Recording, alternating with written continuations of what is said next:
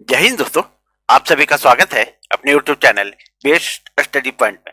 दोस्तों, आज मैं आप लोगों के लिए सिंपल इंटरेस्ट का कुछ इंपॉर्टेंट प्रश्न लेकर के आया हूँ। और अगर आप किसी भी एग्ज़ाम की तैयारी कर रहे हो तो ये आपके लिए इंपॉर्टेंट होगा।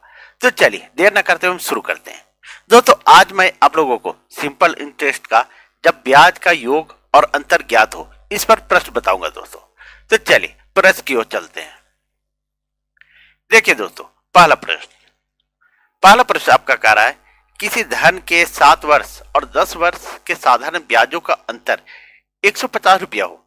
यदि ब्याज की दर पाँच परसेंट वार्षिक हो तो वह धन ज्ञात करें। चलिए, अब देखिए दोस्तों तो समय कितना है? समय बोल रहा है धन का सात वर्ष और दस वर्ष, ब्याजों का अंतर तो इसका अंतर कर देंगे तो दस माइनस सात। हमारा समय कितना आ जाएगा? तो तीन वर्ष आ जाएगा दोस्तों। अब ध्यान दीजिएगा दोस्तों, हमारा ब्याज कितना है? ब्याजों का अंतर बोल रहा है तो 150 है। ब्याज बराबर 150 है। दर हमारा कितना है? तो दर हमारा पाँच परसेंट है दोस्तों। अब इसमें क्या घट रहा है? तो मूलधन। और आपको ज्ञात करने बोल रहा है, वह धन ज्ञात कीजिए। तो मूलधन बराबर क्या होता है? तो मूलधन बराबर, आप लोग सभी को जानते होंगे, इस फॉर्मूले को दोस्तों। मूलधन बराबर ब्याज गुने सौ। बटा समय गुने दर। ये फॉर्मूला होता है दोस्तों। अब देखिए, ब्याज हमारा कितना है? तो 150 है। अब यहाँ लिखिए 150 गुने सौ। बटा में समय समय तीन वर्ष है। और दर हमारा पाँच वर्ष है। ये लिख दीजिए। अब इसको काट दीजिए दोस्तों। पाँच दिया पंद्रह ये कट गया। और तीन से काटे इसको तो दस बार में कटेगा दोस्तों। तो हमारा मूलधन कितना आ जाएगा दोस्तों? तो हमारा मूलधन आ जाएगा, एक हज़ार को दस से गुना कर दीजिएगा तो एक हज़ार आ जाएगा। ये आपका मूलधन हो गया। धन कितना है दोस्तों? तो एक हज़ार रुपया। ये आपका आंसर हो गया। तो सही आंसर क्या हुआ दोस्तों? तो बी नंबर हुआ। चलिए, आगे बढ़ते हैं और नेक्स्ट प्रश्न को देखते हैं। दोस्तों, मेरा आवाज़ क्लियर नहीं आएगी। थोड़ा सा तबीयत गड़बड़ चल रहा है। थोड़ा तबीयत ठीक नहीं है तो आवाज़ थोड़ा सा गला जाम है। चलिए आप लोग इस चीज़ को समझ सकते हैं दोस्तों। चलिए दूसरे प्रश्न को देखिए। एक धन का चार परसेंट वार्षिक ब्याज की दर से, तीन वर्ष का ब्याज और उसके पाँच वर्ष के ब्याज से चार सौ रुपया कम है, वह धन ज्ञात करें। अब वो धन ज्ञात करने बोल रहा है दोस्तों। अब यहाँ ध्यान दीजिएगा, समय कितना है? तो समय बोल रहा है ब्याज की दर से तीन वर्ष का ब्याज और उसके पाँच वर्ष का ब्याज। से 400 कम है। तो अंतर को, अंतर पूछ रहा है दोस्तों, ये पाँच वर्ष और ये तीन वर्ष तो समय कितना हो जाएगा? दो वर्ष हो जाएगा। कितना हो जाएगा दोस्तों? दो वर्ष। अब बोल रहा है, दर, देखिए, दर कितना है? तो चार परसेंट। दर बराबर चार परसेंट दोस्तों। फिर आपका बोल रहा है, ब्याजों से चार सौ रुपया कम है तो ब्याज कितना है? ब्याज बराबर चार सौ है दोस्तों। एक बार और मैं फॉर्मूला लिख देता हूँ आप लोग, उसके बाद आज कर लीजिएगा दोस्तों। चलिए तो अब पूछ रहा है धन क्या है? तो धन बराबर, यानी मूलधन बराबर। मूलधन बराबर, ब्याज गुने सौ। बटा समय गुने दर। ये फॉर्मूला होता है दोस्तों, आप लोग सभी को जानते होंगे। अब देखिए दोस्तों, ब्याज हमारा कितना है? तो 400 है। तो 400 गुने 100 बटा, समय कितना है? तो दो वर्ष। गुने, दर कितना है? तो चार परसेंट। अब इसको काट दीजिए दोस्तों। चार से काटेंगे तो एक सौ आ जाएगा। और फिर जो है दो से काटेंगे तो कितना आ जाएगा? पचास आ जाएगा। अब एक सौ को पचास से गुना करेंगे तो कितना आएगा? पाँच हज़ार आ जाएगा दोस्तों। यही आपका आंसर हो गया दोस्तों। तो वह धन कितना है? तो पाँच हज़ार है दोस्तों। चलिए तो सही आंसर क्या हुआ? तो बी नंबर हुआ दोस्तों। चलिए, आगे बढ़ते हैं और नेक्स्ट प्रश्न को देखते हैं दोस्तों।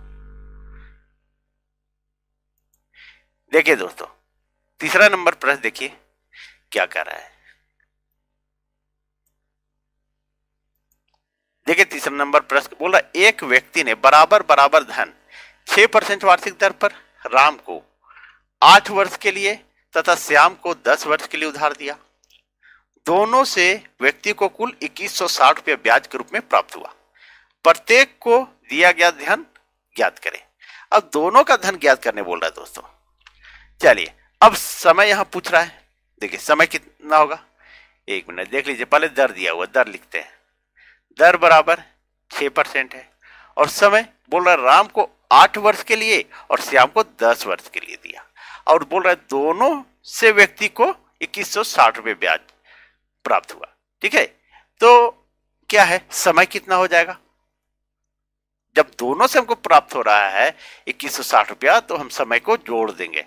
तो क्या करेंगे? आठ प्लस दस वर्ष, यानी अठारह वर्ष हो जाएगा ये समय दोस्तों। उसमें हम घटा रहे थे, लेकिन अभी जो है आपको जोड़ना पड़ेगा। ठीक है? तो अठारह वर्ष हो गया। अब बोलो, दोनों व्यक्ति स्कूल इक्कीस सौ साठ रुपये ब्याज प्राप्त होता है। प्रत्येक को दिया गया धन। धन, यानी मूलधन। मूलधन का फॉर्मूला अभी मैं आप लोगों को बताया। ठीक है? तो मूलधन बराबर ब्याज कितना है? चलिए ब्याज भी यहाँ लिख देता हूँ मैं एक मिनट दोस्तों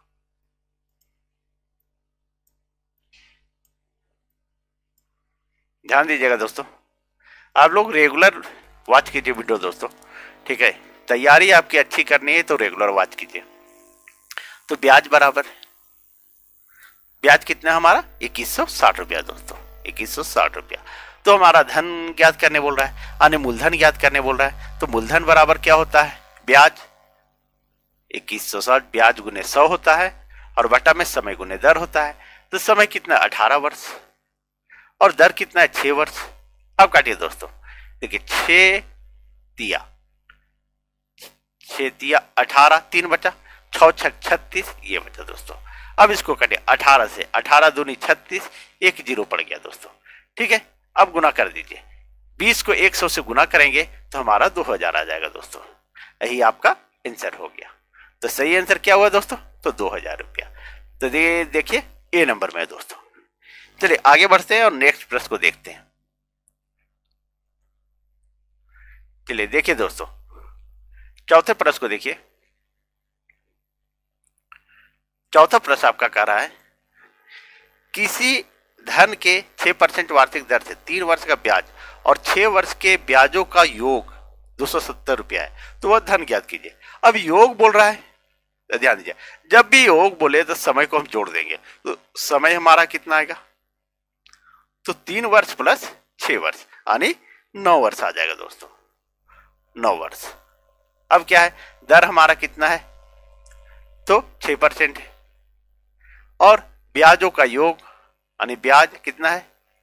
तो 270 है दोस्तों। अब बोल रहा है धन ज्ञात करने के लिए। यानी मूलधन ज्ञात करने के लिए तो मूलधन बराबर। मैं फॉर्मूला अब नहीं लिख रहा हूँ दोस्तों। आप लोग याद हो गए होगी। तो मूलधन बराबर, ब्याज गुने सौ होता है तो ब्याज हमारा 270 है। गुना सौ कर दीजिए। और बटा में समय गुने दर, यानी समय जो है नौ वर्ष हुआ, और दर कितना है? छह परसेंट। अब काटिए, नौ तिया सत्ताईस, और छ पचे तीस। अब कितना आया दोस्तों? तो 100 को 500 गुना कीजिएगा तो 500 आ जाएगा दोस्तों। यही आपका आंसर हो गया। तो सही आंसर क्या हुआ दोस्तों? तो बी नंबर हुआ। दोस्तों, अगर आप लोग को वीडियो अच्छी लगी हो तो प्लीज़ वीडियो को लाइक करें, चैनल सब्सक्राइब करें और वीडियो को अधिक से अधिक शेयर कर दे दोस्तों। चलिए, अब मिलते हैं शाम में। चलिए, थैंक यू।